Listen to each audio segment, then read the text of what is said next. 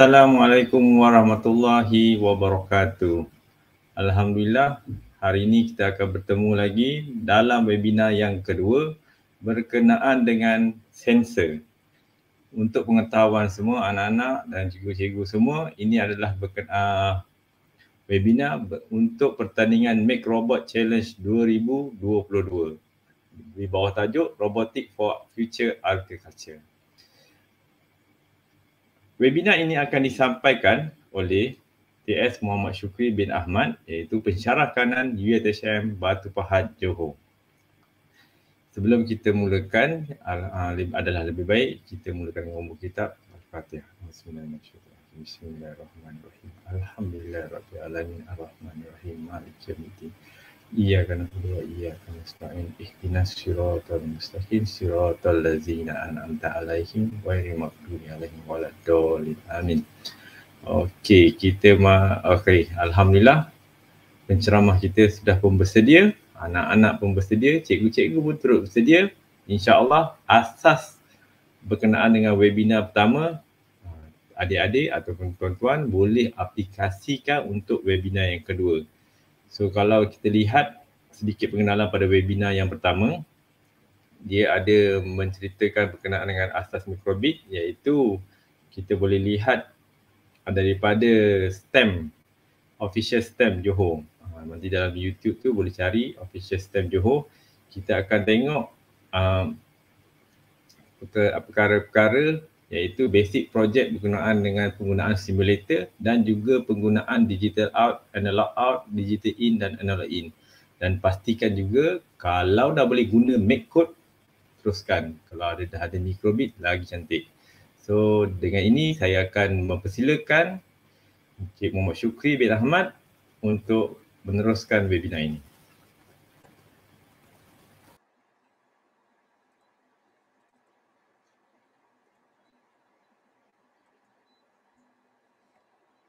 Okey, Assalamualaikum, selamat malam. Okey, so kita mulakan dengan topik yang pertama eh. Sensor hari ni kita akan tengok pasal sensor. So apa itu sensor dan kenapa kita nak pakai sensor? Okey, so basically sensor ni macam deria bagi sebuah robot lah. Dia macam kita punya mata, telinga dan tangan. Daripada mata, telinga dan tahan ni, tangan ni kita boleh dapat melihat, mendengar, okey, merasa. Uh, so robot menggunakan benda-benda sensor ni untuk bertindak sebagai dia punya deria. Okey. Sensor yang paling mudah, yang paling mudah sekali ialah switch. Uh, walaupun switch ni kita biasa guna untuk on off, dia boleh digunakan sebagai sensor juga sebenarnya. Okey. Uh, maknanya bila kita tekan switch tu, robot akan sense. Okey, robot akan tahu switch tu ditekan. Okay, jadi kita boleh gunakan switch ni untuk detect orang cuba nak masuk rumah. Ah, ha, maksudnya kita letak switch tu dekat bawah tempat kaki kan. Bila dia pijak switch tu tertekan, dia akan detect, oh ada orang nak masuk. Ah, dia boleh juga guna untuk kesan kira orang, berapa ramai orang masuk. Orang duduk atas kerusi dia kira. Ah, satu, dua, tiga. So lagi, lagi kalau banyak kerusi orang duduk, dia boleh tahu berapa bilangan orang duduk atas kerusi dengan menggunakan switch. Okay. Jadi sebelum kita guna switch ni, Okey, ada dua jenis yang kita kena tahu. Satu ialah jenis yang maintain, satu lagi jenis momentary. Okey, switch yang maintain ni ialah switch macam switch lampu dekat rumah tu. Bila kita on, dia kekal on.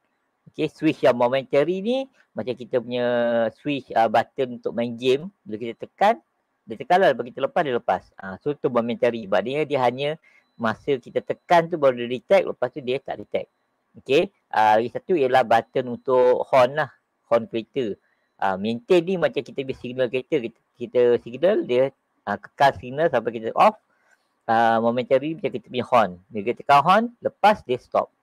Okay. So switch ialah sensor yang paling mudah untuk digunakan dan paling murah. Okay. Uh, bukan maksud dia dia murah tapi tak banyak guna. Banyak guna dia. Cumanya kita kena lebih kreatif macam mana kita nak apply penggunaan switch ni sebagai sensor. So basically sensor ni boleh uh, switch ni ialah sensor jenis rasa. Okey dia akan beri robot kita rasa. Maknanya kalau kita letak dekat depan robot tu robot tu jalan bila switch terlanggar dinding dia akan tertekan sudah tahu oh dah sampai dekat dinding. Nah, so dia tahulah so tak adalah dia terus lagi langgar dinding tu. So dia akan reverse ke belakang macam tu. Okay so itu guna switch eh. Uh, so switch ni juga ada dua jenis. Okay normally open dengan normally close. Okay so ini kita boleh skip. So basically apa yang dikatakan dekat sini ialah switch ni ada switch yang kita tak tekan dia on. Kita tekan baru dia off. Ha, biasa switch kita tekan dia on kan macam lampu kan. Kita, macam horn lah, horn kereta kan. Kita tekan dia bunyi horn. Kita lepas horn tu stop. So itu switch yang kita panggil sebagai normally open. Maknanya pada keadaan biasa litar tu terbuka. Ha, litar tu terbuka. Litar terbuka maksudnya dia tak ada sambungan lengkap so apa-apa benda tu tak menyala. So itu normally open. Okay. Satu lagi jenis switch ni kita panggil normally close. Normally close ni pula switch yang terbalik. Ha, dia sentiasa on. Sampai kita tekan baru dia off. Ini yang saya dah bagi minggu lepas macam dekat dalam mesin, bah- uh, mesin basuh pula. Ha, dalam peti, peti sejuk tu. Okay. Ha, kita buka pintu tu. Okay. Bila kita buka dia tak tekan. Kan ada benda macam kat tepi tu kan. Ha, bila, bila kita buka pintu dia tak tekan benda tu lampu menyala. Okay. Bila kita tutup balik lampu akan padam. Okay. So switch ni Okay, kita guna dia baca sama ada kosong atau satu. So, cara kita baca dia menggunakan digital read pin P0. Kenapa P0? Sebab kita sambung antara P0 dengan 3 volts. Okay, maknanya bila kita tekan switch normally open ni, apa berlaku? Litar ni lengkap. Litar ni lengkap, jadi dia akan baca satu dekat sini. Ha, so, nombor kat sini akan keluar satu. Uh, satu. Okay, tapi kalau kita tak tekan, kalau kita tak tekan macam ni, tak tekan, so tak ada sambungan, dia akan baca sebagai kosong. So dia akan display dekat sini kosong. Kenapa dia display kosong? Sebab kita suruh dia show number. Apa nombor yang kita nak show ialah digital read pin P0. Maknanya apa status dekat P0 ni dia akan display dekat uh, atas microbit ni. Uh, kalau tak tekan dia akan display kosong. Kalau kita tekan dia akan display satu. Uh, so itu cara kita nak baca switch. Okey, jadi lepas tu switch ni kita boleh letak dekat mana-mana, letak dekat belakang pintu ke, maknanya tiap kali orang buka pintu dia akan uh, kira satu, dua, tiga contohnya program kita macam tu. Ataupun mungkin kita letak ni dekat bawah reban ayam tu ada telur ayam jatuh tu, dia tekan tab, so dia kira satu, dua, alat membilang telur ayam. Ha, boleh juga. Okey, so itu dah jadi satu simple punya application dengan hanya menggunakan switch sahaja. Okay, kalau tak pakai switch pun nak pakai wire pun boleh. Maknanya ada wire. Ha, bila wire tu kita terlanggar, dia touching. So dia akan detect satu. Ha, so setiap kali kita wire tu touching, dia akan uh, tahulah ada benda dikira sebagai satu, dua, tiga tu. Okay, pun boleh. Okay. Okay. So, kalau switch normally close pula, misalnya macam ni, bila kita tak tekan, dia akan bersambung. Okay, jadi apa berlaku bila kita bagi arahan yang sama, dia akan keluar satu. Okay, kalau kita bagi macam ni, kita tak tekan, sebab bila kita tak tekan, dia akan bersambung dengan 3 volt. 3 volt ni dia akan baca sebagai satu. So, dia akan keluar satu. Okay, bila kita tekan, dia tak bersambung, dia akan display kosong. Sebab dia tak bersambung dengan 3 volt. 3 volt ni dia akan baca sebagai satu. So digital read ni dia baca sama ada kosong atau satu saja, ya ataupun tidak. Satu ni ya, kosong ni tidak. Okay, uh, ya atau tidak. So dia lebih simple. Okay, kita tengok satu contoh ni. Okay, so on start, dia kata forever. Okay, uh, satu dalam programming ni, cara paling senang kalau kita nak bukan senang lah cara lebih mudah kita untuk belajar ialah kita bercerita dengan apa yang program ni buat. Okay. So program ni buat ialah okay, pada forever mana dia akan ulang benda dalam ni if if ni bahasa Melayu dia kalau ataupun jika jika digital read pin P kosong jika nilai dekat sini ialah kosong buat tanda pangkah. Okay, selain daripada itu buat tanda right. Okay. Dalam keadaan sekarang ni, kita tak tekan, apa dia display dekat sini? Okay, apa dia display kat sini? Okay. So cerita dia macam ni. Bila kita tak tekan, okay, kosong ni tak tak bersambung dengan 3 volt. Jadi dia akan baca kosong. Okay. Bila dia baca kosong, dia akan masuk dekat sini. Dia tengok adakah dia kira adakah nilai dia kosong? Ya, nilai dia kosong. Jadi dia akan paparkan X. Okay, so nilai X akan keluar dekat sini.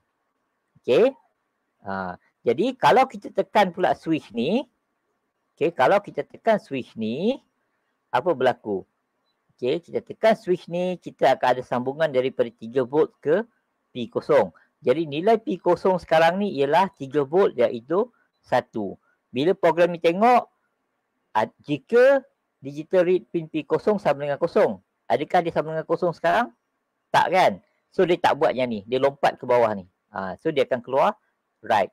Okay, jadi program ni buat dengan circuit ni buat ialah bila kita tak tekan dia akan keluar pangkah, bila kita tekan dia akan keluar right. Okay, so ini cara paling simple, paling asas untuk menggunakan switch sebagai sensor.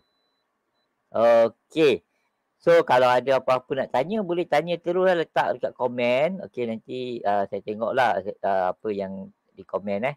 Uh, okay. So boleh tanya benda jangan jangan uh, jangan soal balu kan. Uh, okay. Kita buat relax je ni. Uh, okay. So saya tengok soalan je eh. So masih tak ada soalan eh. So pandai hari ni. Semua hebat-hebat. Okay. So okay. So selain daripada okay. So memanglah sensor uh, pakai switch ni murah. Murah. Dia murah dan mudah. Okay. Tapi dia kurang kurang shock ah, kurang shock kalau kita pakai. Ha, contoh kan kalau kita buat robot tadi. Okey, kita letak sensor ni dekat depan. Robot tu dah langgar dinding dia stop. Tapi robot ni dah langgar pun dinding tu macam kalau kita buat kereta automatik kan. Dah berlaku accident baru dia stop. Tak best lah kan? Kita nak kereta kita macam autonomous drive macam kereta kita baru sekarang ni kan. Kalau depan ada kereta perlahan je dia akan slow down automatik. Ha, tanpa perlu langgar. Ha, so kita nak sensor-sensor yang boleh buat benda macam tu eh. Okay. So kita tengok sensor yang yang popular lah. Saya tak nak cerita ke semua sensor ni memang sampai besok pun tak selesai. Uh, so saya nak uh, kongsikan sensor yang yang biasa-biasa orang pakai eh. Biasa-biasa orang pakai. Okay.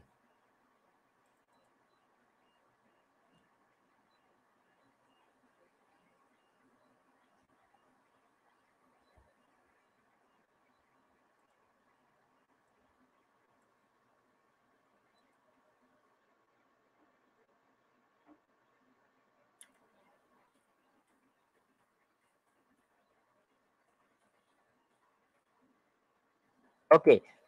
Sensor yang pertama. Yang pertama nak share ni lah. Ini sensor yang paling glamour lah. Okay, glamour lah sensor ni. Macam-macam boleh buat eh. So basically sensor ni namanya ultrasonic sensor. Okay, ultrasonic sensor. Harga ni pun tak mahal. RM4, RM5 macam tu je. Okay.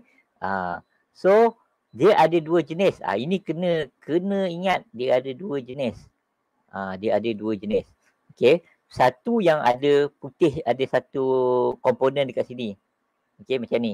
Ah jenis yang macam ni senang dapat tapi tapi kalau boleh elakkan eh elakkan. Okey cari satu lagi jenis yang dia tak ada yang ni. Dia semua biru ya ni. Dia tak ada komponen yang ni. Okey sebabnya ialah komponen yang ada ni dia memerlukan power supply, maknanya sensor ni memerlukan power 5 volt. Ha, memerlukan power 5 volt. Okey. Kenapa masalah dengan 5 volt ni?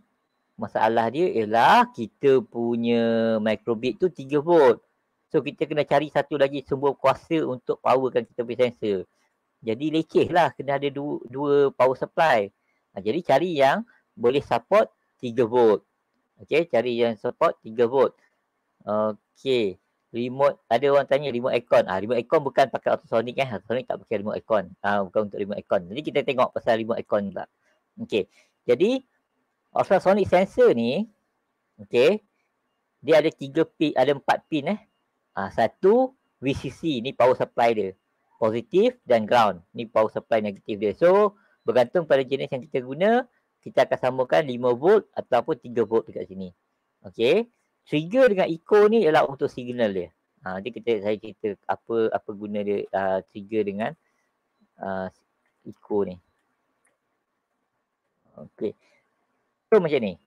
Okey, ini ultrasonic kan nampak ada dua ni eh benda dia, dua benda ni. Okey. So transmitter ni basically trigger. Ah, receiver ni eco. Okay, dia menggunakan konsep gema. Bunyi bila langgar benda yang keras, dia akan melantun kan. Okay, dia akan melantun. So dia akan kena dekat objek, dia akan melantun. Jadi sebab microcontroller pandai, okay, dia tahu okay, macam mana nak kira. Ha, dia tahu berapa kelajuan bunyi, So dia akan kirakan untuk kita. So kita tak payah masukkan formula apa-apa. Dia akan kirakan untuk kita. So daripada sini dia boleh bu- bukan setakat detect ada atau tak ada objek. Dia juga boleh detect berapa jarak objek. Ha, berapa jarak objek. Okay. Dia menggunakan bunyi. Bunyi ni kita tak dengar sebab dia ultrasonic. Dia macam kelawar. Terbang kelawar terbang yang gelap kan. Kenapa dia boleh terbang yang gelap walaupun tak nampak? Sebab dia menggunakan sonar. Okey, ultrasonic ni. Uh, dia menggunakan konsep yang sama. Okey. So, kelemahan dia pula. Kelemahan dia. Okey, sebab bunyi ni perlu dipantulkan, objek ni kena paling baiknya objek yang rata dan keras. Jadi dia baru boleh melantun dengan baik bunyi tu. Okey, kalau kalau objek tu lembut, bunyi tu mungkin diserap jadi tak dia tak dia tak bounce balik, dia tak melantun. So dia tak boleh read benda ni. Okey, satu lagi masalah dengan ultrasonic ni ialah kalau objek tu bulat. Ha, sebab bila objek tu bulat, dia berlantun kerana dia berlantun tempat lain. Dia tak patah balik. Ha, itu kalau tengok kenapa kereta, kadang-kadang kita tengok river-river langgar, langgar tiang kan. Sebab tiang bulat. Ha, sebab river sensor dekat kereta, dia menggunakan ultrasonic. Ha, menggunakan ultrasonic. Jadi bila tiang tu sebab dia bulat, dia reflect tu ke tempat lain. Tak kena dekat dia punya receiver. Jadi sensor tu tak bunyi. Ah, okay. So, itu ultrasonic sensor. Sensor ultrasonic ni banyak guna. Kita boleh ukur jarak. Kita boleh ukur uh, misalnya ada tak ada. Okay, kalau orang lalu dia detect.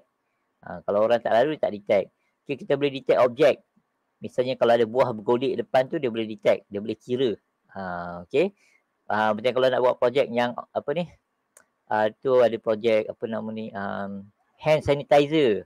Uh, dia boleh detect. Ada tangan, kita tak tangan betul, automatic dia akan uh, ni uh, detect. Okay. Uh, automatic hand sanitizer. Kalau benda yang boleh detect automatic, dia menggunakan ultrasonic eh. Okay. So saya kata tak ada soalan lagi eh. Okay. So itu ultrasonic sensor. Okay. So senang tak nak program ultrasonic sensor ni? Okay. Ha. So kalau kita pergi dekat microbit, okay, make code tu, kita pergi dekat extension, okay, ada extension nama sonar. Ha, ni gambar microbit pakai teropong ni. Ha, maknanya dia nak tengok lah ni. Okay, ha, kita install sonar ni. Okay, nanti kita akan dapat blok ni. Kita install sonar, kita akan dapat blok ni. Okay, so blok ni kita akan guna untuk baca kita punya sensor. So P0 uh, trigger dengan echo. So kita akan sambungkan kita punya ultrasonic sensor tu dekat kita punya microbit. Okay. Trigger tu kita sambunglah dekat P1 ataupun P2. P0, P1 ataupun P2.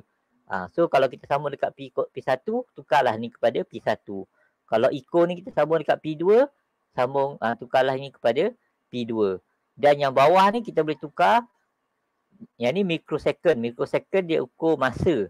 Okay, kita boleh tukar kepada microsecond ataupun sentimeter ataupun inci. Ha, jadi kita tak payah pening-pening nak buat kiraan dia. Ha, blok ni akan kirakan untuk kita. So very convenient eh. Ha, very convenient.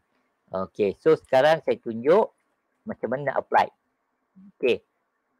So ini contoh robotik untuk buat satu robot yang akan berjalan ke depan.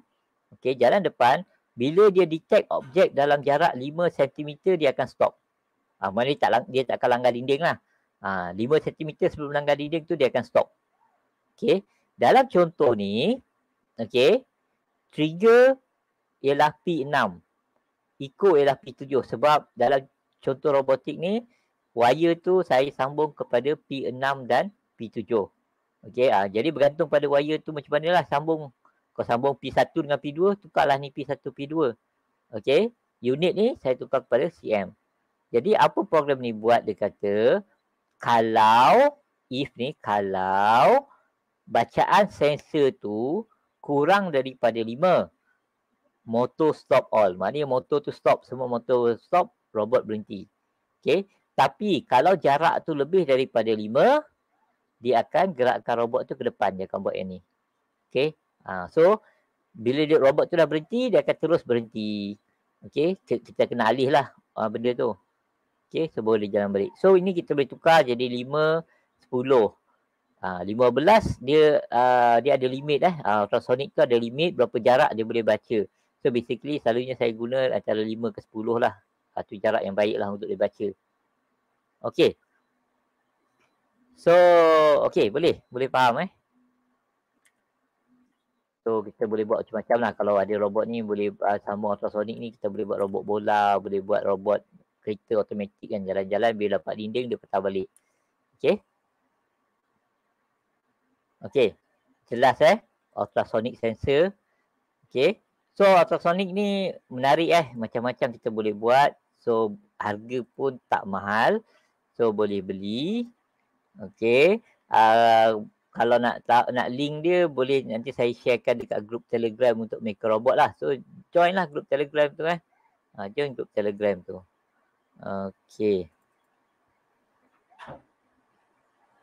Okay, satu lagi sensor yang uh, selalu digunakan ialah sensor infrared, inframerah. Mana eh nota dia ni.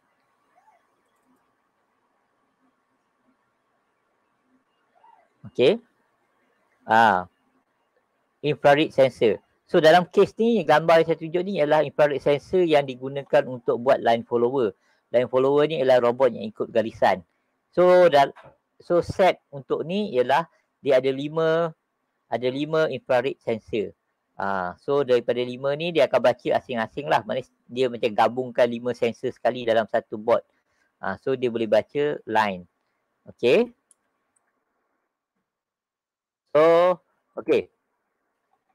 So, ni infrared, uh, ini contoh infrared sensor. Okay. Ada nota ni. Okay. Infrared sensor ni pula, dia menggunakan cahaya.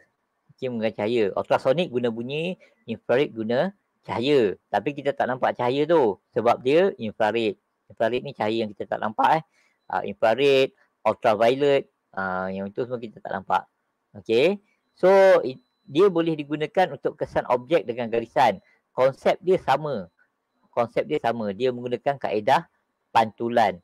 Okey. Tapi berbeza dengan ultrasonik, berbeza dengan ultrasonik, dia sebab dia cahaya, okey, cahaya ni dia memantul bukan ikut objek tu keras ke lembut, dia ikut color.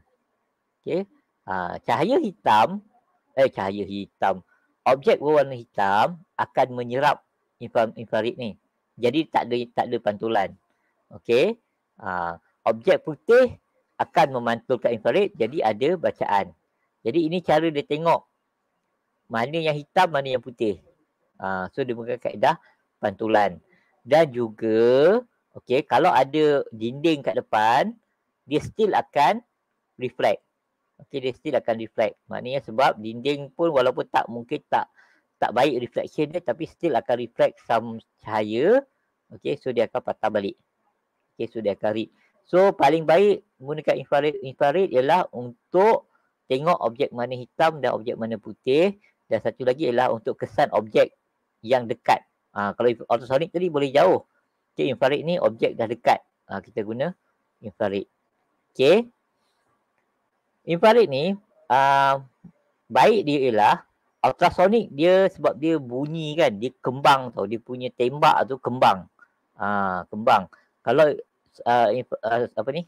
Kalau infrared ni pula okey dia tembak uh, lurus sebab dia cahaya. Dia kecil je tembak-tembak dia. Jadi kita boleh baca precise tempat mana kita nak baca. Uh, so kita boleh tahu de- dekat mana dia baca. Kalau ultrasonic tadi ultrasonic sebab dia kembang dia tahu ada dengan tak ada tapi dia tak boleh actually pinpoint dekat mana Okay, uh, infrared kita boleh pinpoint dekat mana. Uh, kita senang nak aim lah. Pakai infrared ni kita senang nak aim. Okay, uh, jadi kedua-dua sensor ni dia dia complement antara satu sama lain. Uh, kelemahan infrared ialah kelebihan ultrasonic. Kelebihan ultrasonic pula ialah kelemahan infrared. Okay.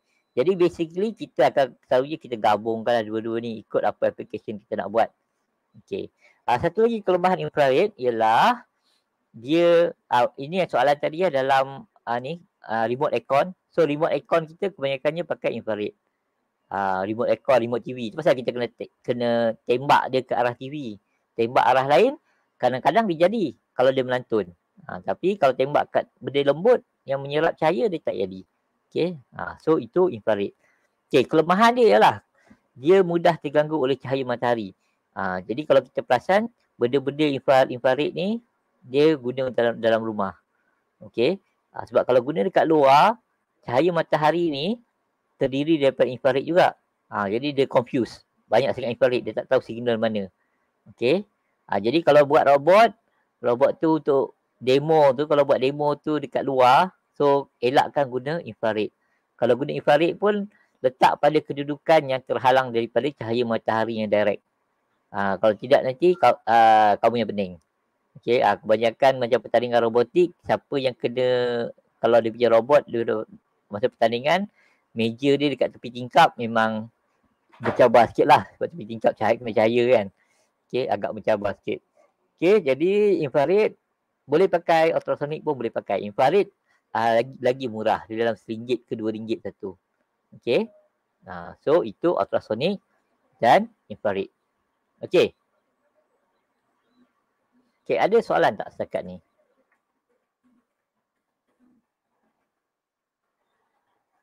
Setakat ni okay. tak ada uh, Kalau ada boleh tak boleh tanya? Okay. Nanti saya paparkan kalau ada. Ah, okay, terima kasih.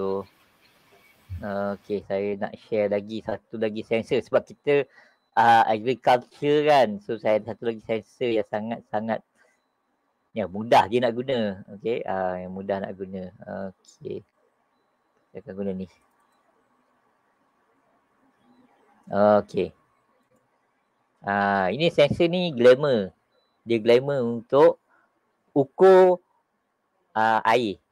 Dia boleh, dia macam-macam guna eh. Yang ni boleh macam-macam guna. Dia sangat-sangat fleksibel lah benda ni. Uh, so harga dia saya ingat RM8 macam tu kot. Tak ingat lah harga dia. Okay.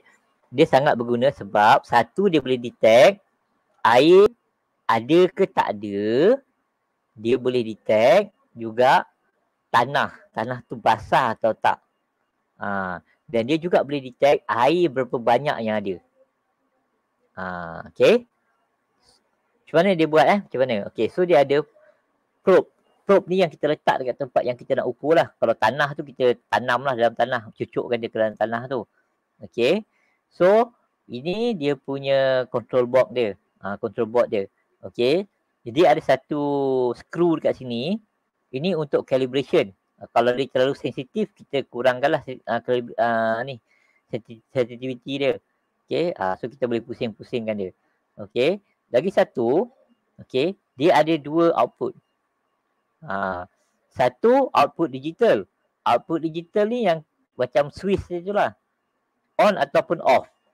Uh, so dia tahu basah ke kering. Ha, so kita boleh pakai di kosong ni. Lepas tu kita sambungkan dengan kita guna digital read pin. Digital read pin. So kita boleh baca. Ha, okay. So uh, dia tak okay tak dengar suara. Orang lain dengar suara tak?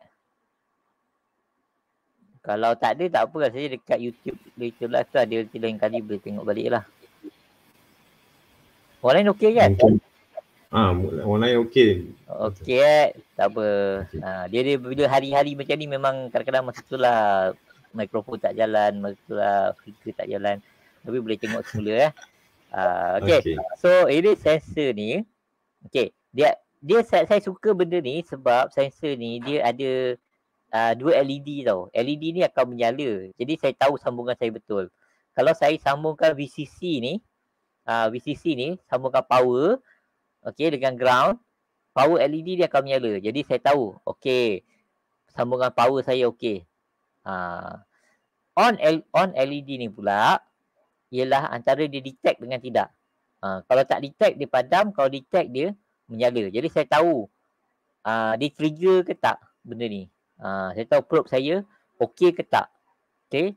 Kalau saya nak guna untuk baca um, apa ni kelembapan tanah. Okey. Saya dapati bahawa lepas masa saya masuk probe saya dapati tanah tu basah. Basah dah basah ni. Tapi masih tak detect. Dekat D kosong ni masih tak detect. Nah, jadi saya pusingkan calibration ni. Ah, maknanya dia terlalu dia, ter, dia macam sangat kurang sensitif. Ah, jadi kita boleh adjust calibration. Kenapa ni penting? Sebab kita boleh kata kita boleh kata ada pokok yang perlukan banyak air. So kita calibrate untuk banyak air.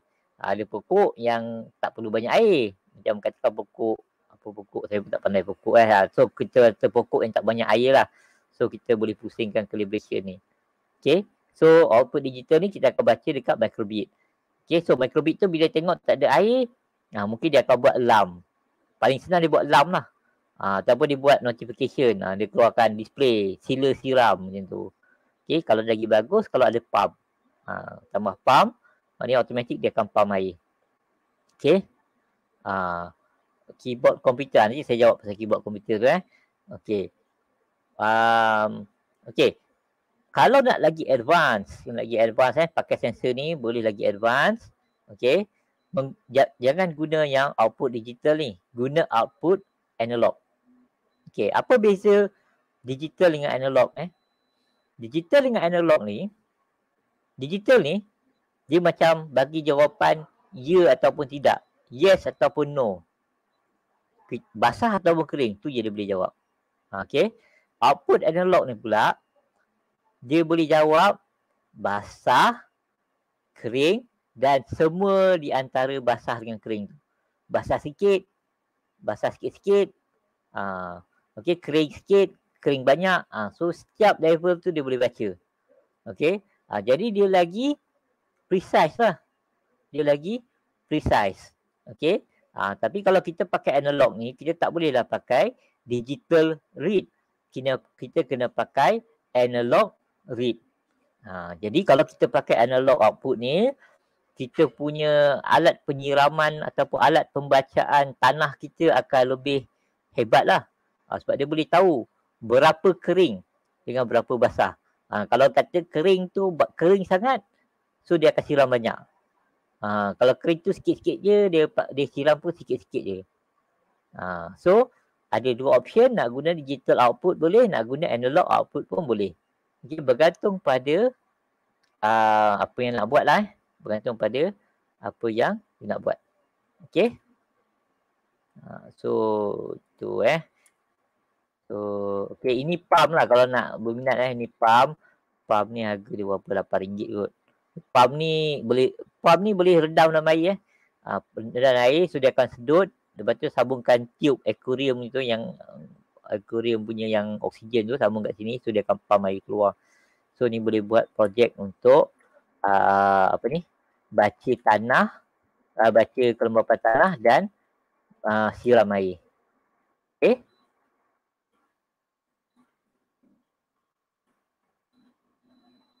Okey. So boleh. Okey. Ada soalan tak? Setakat ni tak ada. Tak ada eh. So ada ha. tu soalan uh, keyboard komputer. Keyboard komputer ha. boleh.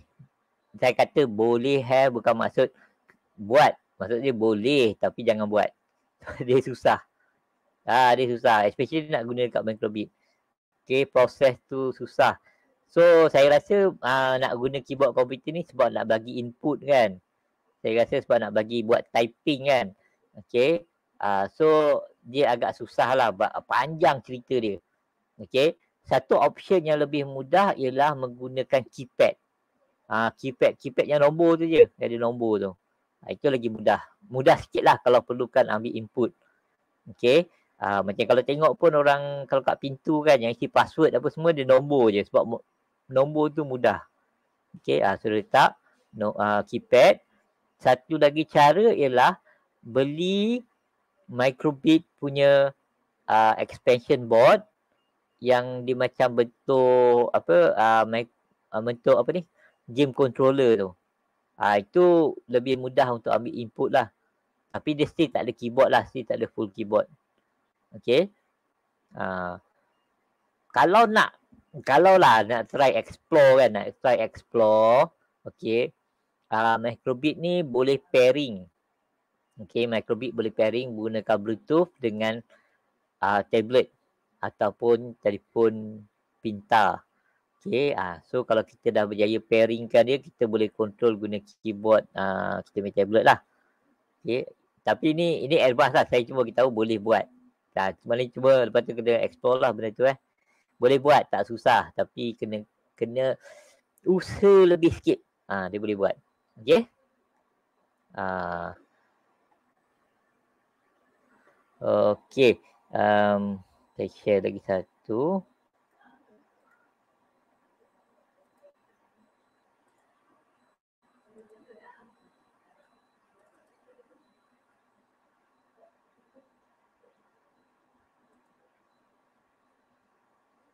Mana ni?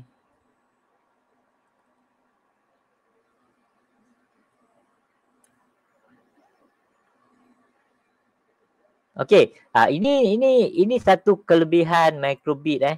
Ha, kelebihan ni tak ada dalam Arduino. Okey, tapi yang biasa Arduino dia tahulah benda ni. Okey. Kelebihan ni ialah okey, ha, contoh dalam contoh ni, dalam contoh ni apa yang saya buat ialah ha, saya buat robot ni. Okey, robot ni. Okay, nota ni semua ada dalam grup telegram eh, boleh download. Okay, saya buat robot ni. So robot ni ada dua kerja. Ah, kerja tu tak berkaitan. Satu kerja dia ialah kalau kering, ni, ni probe tadi eh. Ha, kalau tanah tu kering, nyalakan pump. Kerja nombor satu dia. Kerja nombor dua dia, dia ada ultrasonic depan ni. So kalau dia detect kan, dia detect ada benda datang, nanti dia punya tangan ni bergerak. Ha, tangan ni berpusing-pusing. Ha, so dia nak halau lah benda tu. Okay, tu kerja kedua dia. Okay. Bila kita nak buat satu robot yang ada dua kerja, okay, kita boleh gabung, kita boleh buat dua forever. Okay. So, tengok yang forever sini eh.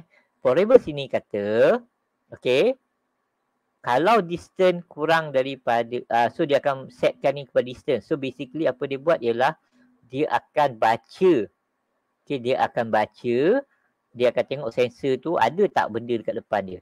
Kalau ada something dekat depan dia antara jarak 1 hingga 5 cm, antara 1 dengan 5, okey, maknanya kurang daripada 5 dan lebih daripada 1, maknanya dia antara dia di antara 1 dan 5.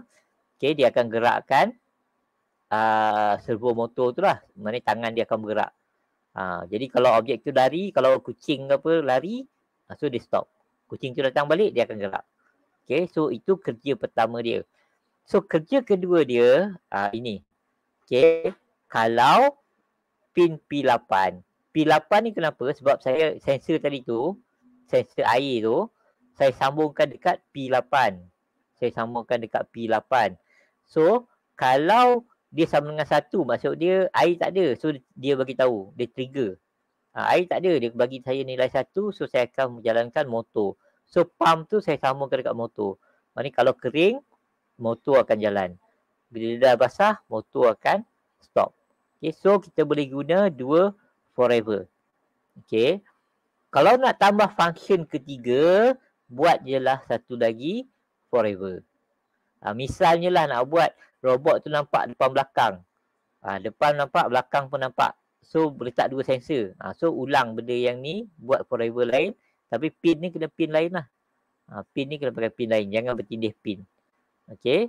Sebab pin tu hanya satu je benda boleh masuk. Jangan masukkan dua tiga benda. Okay. Ha, tapi kalau kita nak gabungkan macam ni, dia lagi mudah. Sebab kita tak perlu tak perlu menggabungkan dua dua set atau cara ni. Ha, yang ni duduk dalam forever dia.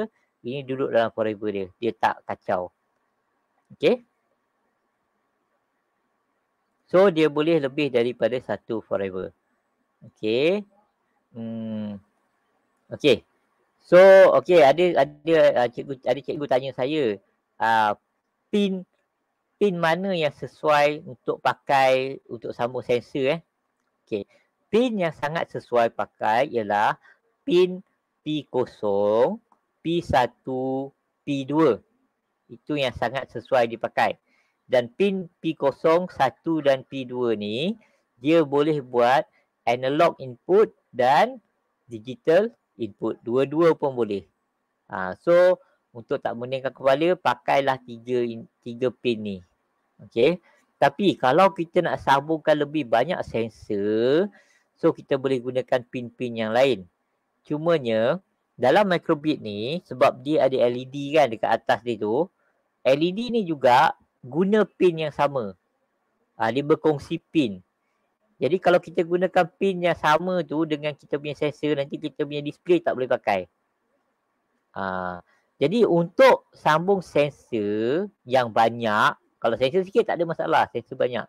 Sensor banyak dan nak pakai display tu kena tengok dalam manual manual microbit tu pin mana yang tak ada kerja lain. Ha, ada pin yang dia ada kerja kerja sambilan dia. Ha, so cari yang memang dia kerja dia tak ada kerja lain. Ha, dia free. Ha, so guna pin-pin yang tu. Okay macam P0, P1, P2 ni dia memang pin yang free lah. Ha, dia tak ada kerja. Okay tapi ada pin-pin lain yang dia ada kerja lain. Ha, so kena pastikan eh sebelum guna pin-pin tu. Okay. Ha, tapi kalau nak guna tak banyak sensor, pakai pin yang ni pun cukup. Okay. Okay. So, okay. Setakat tu sahaja untuk hari ni. Tak lama. Kita buat pendek-pendek je. Okay. So, dengan tiga sensor ni, dah boleh buat macam-macam. Jangan jangan risau. Memanglah banyak sensor lagi lah. Contohnya, sensor kalau nak pakai uh, PIR. Passive Infrared Sensor. Uh, passive infrared sensor ni selalunya uh, kita guna untuk detect motion. Uh, maknanya kalau ada gerakan baru di detect. Bukan di detect ada orang ke tak. Dia detect orang yang bergerak. Uh, ada sensor tu. Okay, tu dalam RM12 pun tak mahal. Okay, tapi uh, lepas tu ada sensor yang selalu pakai ialah sensor untuk detect gas. Uh, so dia boleh tahu gas beracun. Misalnya ada pipe bocor ke apa, dia boleh detect gas-gas beracun. Macam pipe apa gas kat dapur bocor, dia boleh detect. Pun ada sensor tu. Uh, so ada lagi sensor untuk temperature dengan humidity pun ada. Dia boleh uh, detect temperature, kepanasan dan humidity, kelembapan, kelembapan udara. Jadi macam-macam sensor ada eh. Tapi konsep dia masih sama. Dia sama ada sensor tu analog atau digital. Okay. Nak mudah guna, pakailah sensor yang digital. Uh, nak lagi precise, pakailah sensor yang analog. Okay. Cuma hati-hati sebab kebanyakan sensor perlukan 5 volts. Ha, dan microbit ni 3.3 volts. Okay, ha, so itu je lah dia punya ni. Okay, tapi jangan, bagi saya lah, bagi saya tiga sensor yang dah ajar ni pun dah cukup. Okay, dah cukup untuk buat macam-macam projek. Okay, dan play around. Okay, play around, tengok apa yang boleh buat dengan tiga sensor ni. Okay. Ha. Okay. So, okay. So, uh, kalau tak kalau tak ada soalan, saya, kita tunggu sekejap lah kalau ada soalan eh. Kau tunggu, tunggu sekejap kalau ada soalan. So, boleh type di komen eh. Boleh, boleh. Jika ada soalan, boleh uh, type di komen. Uh, nanti Cik Syukri akan jawabnya lah tentang sensor. Ha, kalau saya boleh jawab lah. Kalau saya tak jawab, saya senyap je lah. ha, tapi tak apa, boleh tanya dalam grup telegram pun boleh. Nanti saya jawab okay. dalam telegram tu. Ha. Betul. Mana yang tak dapat grup telegram tu, saya akan pastekan grup telegram ha. tu untuk ha, yang mana yang belum masuk lagi.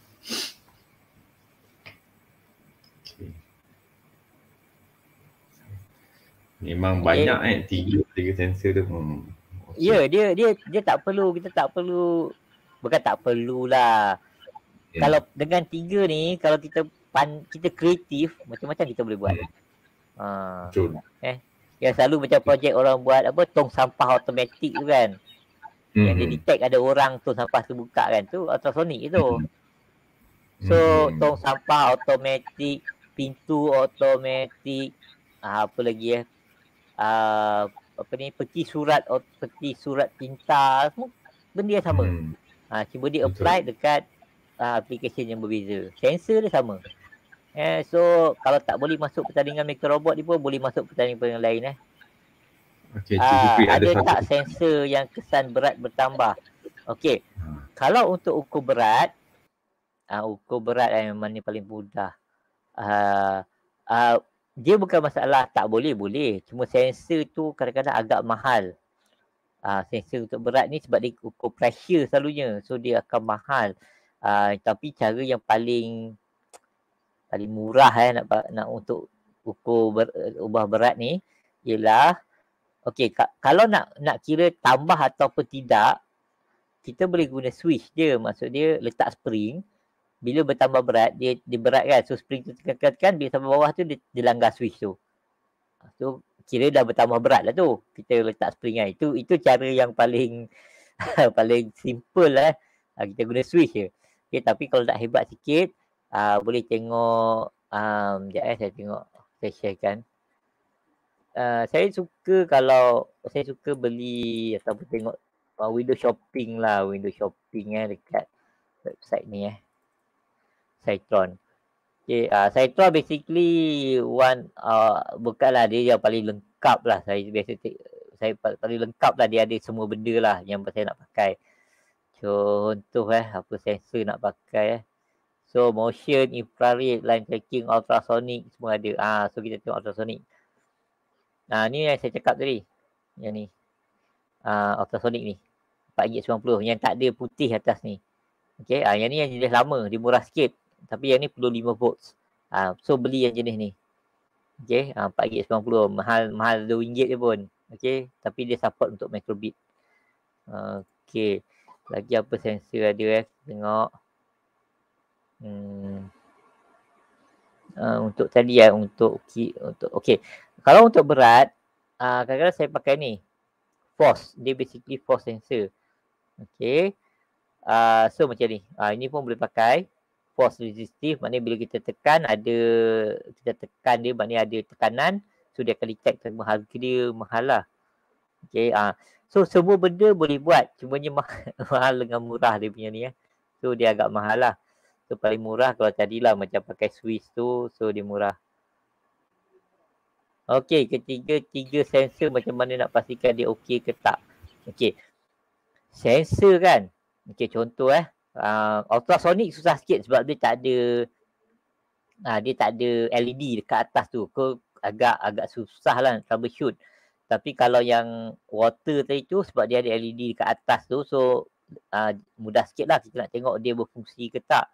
Kalau kita pakai sensor let's say infrared eh. Ha, infrared macam ni kan? CR RM2 Okay macam ni kan Okay dia ada dua LED ni satu LED power satu lagi LED untuk detect atau tak jadi kita tahu kalau kita tak benda depan ni kalau LED detect ni tak menyala maksud dia ada something wrong lah ha, sensor ni ha, yang untuk power ni bila kita sambungkan power voltage dengan in, apa uh, VCC dengan ground kalau tak menyala maksud dia sensor tu dah kong lah. Okay cumanya uh, saya sensor kan personally jarang rosak. Uh, satu lagi nak bagi tahu ni eh uh, ni yang yang ni untuk calibrate. Uh, calibrate ni untuk ukur jarak untuk setkan jarak. Jarak mana dia akan start baca. So kita akan pusingkan benda ni. Okay. Tapi personally sensor uh, yang murah-murah ni kan RM1, RM2 ni jarang rosak lah. Salah-salah sambung pun uh, kebanyakan kalinya tak rosak kalau salah sambung eh. Cuma dia akan start panas lah. Kalau rasa uh, elektronik ni kalau dah rasa panas tu off kan sekejap. Maknanya ada something wrong. Uh, dia takkan panas. Okay, kalau panas tu selalu short. Uh, kadang-kadang bila dah panas tu dia masih boleh guna. Okay. Tapi yang selalu rosak ni kena ingat eh. Paling selalu rosak ialah wire kita akan sambung ni guna uh, apa yang kita panggil jumper wire eh. Uh, jumper wire. Jumper wire tu yang ni.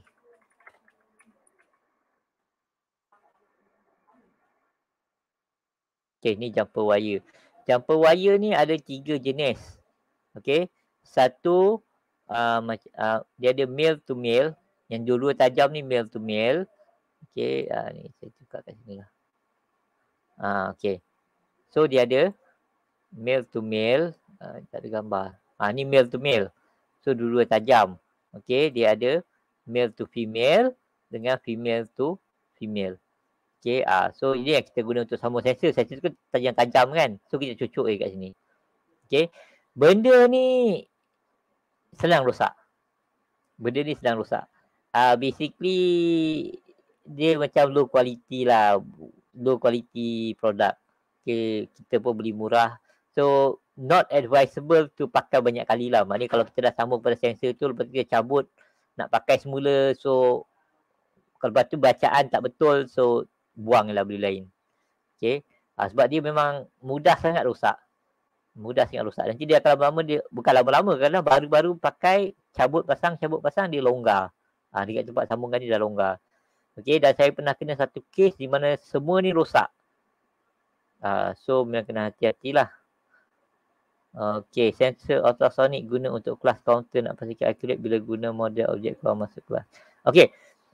Ha, so ultrasonic sensor ni okey, uh, dulu uh, dia satu dia bukan masalah dekat sensor, dia masalah dia dekat bukan masalah lah cabaran dia dekat programming eh. Dia macam ni. Um saya fikir macam mana nak ceritakan dengan mudah. Okey. Kita guna ultrasonic sensor untuk ukur orang keluar masuk kelas eh. Ha, tapi kena ingat ultrasonic sensor ni dia tembak macam pakai shotgun, dia tembak lebar. So orang yang sama pun dia akan tembak banyak-banyak kali. Ha, jadi dia kadang-kadang dia akan tembak orang yang sama 2 3 kali lah.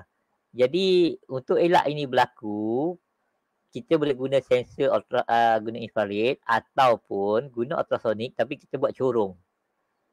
Uh, buat macam corong. Jadi dia punya tembakan tu tak tak melebar sangat.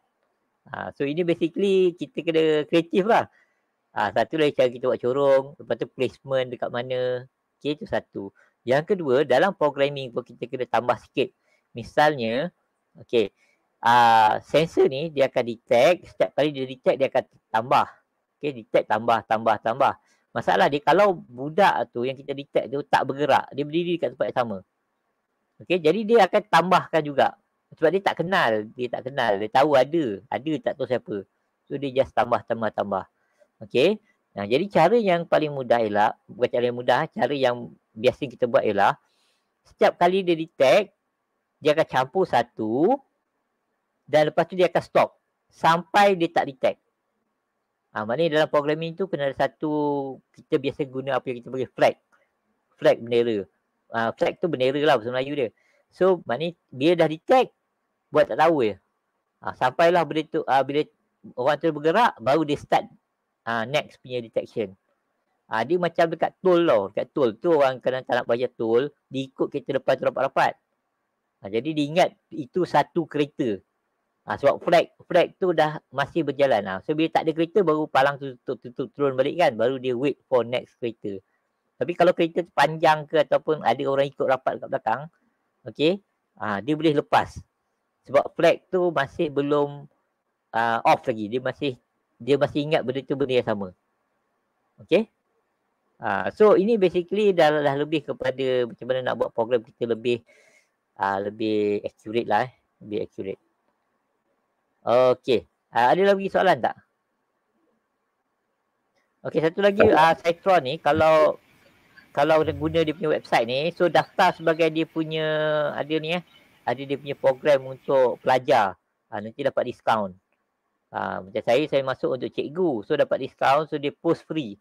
Jibat tu, post free. Uh, so bolehlah daftar untuk ni. Dia adalah cara dia saya tak ingat macam mana kena hantar email ke macam tu lah. Nanti dia akan add benda tu dia bagi login. Okay. Okay so ada soalan tak? Ada soalan lagi tak? Okay. Macam tak ada lagi. Tak ada eh? Tuan. Uh. Dia mungkin sebab belum belum buat ni. Dia dah buat dia kan. Dia dah, dah buat lah bayar buat soalan. Saya boleh tanya dalam grup telegram eh. Tak apa. Saya dalam grup telegram. Ha, sedang Okey, kalau tak ada sampai sini saja. So, okey. Assalamualaikum. Terima kasih semua. Okey. Okay, Waalaikumsalam warahmatullahi wabarakatuh. Kita ucapkan terima kasih pada penceramah kita, TS Muhammad Syukri bin Ahmad. Dan jangan lupa untuk bengkel yang ketiga, kita akan uh, bersiaran untuk bahagian motor pula uh, pada 26 Julai 2022, waktu yang sama. So insyaAllah jika ada apa-apa kesilapan, saya sebagai uh, wakil bagi teknikal memohon maaf dan kita berjumpa lagi pada 26 Julai. Assalamualaikum warahmatullahi wabarakatuh dan selamat malam.